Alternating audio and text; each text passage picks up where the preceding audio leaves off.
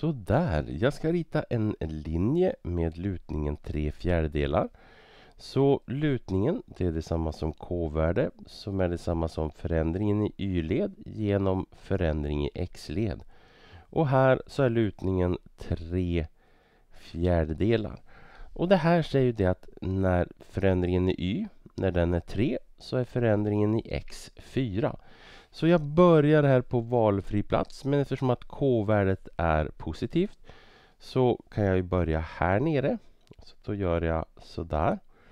Och då ser jag förändringen i x-ledet 4. Så när x ökar med 4, 1, 2, 3, 4 så skulle y-led öka med 3.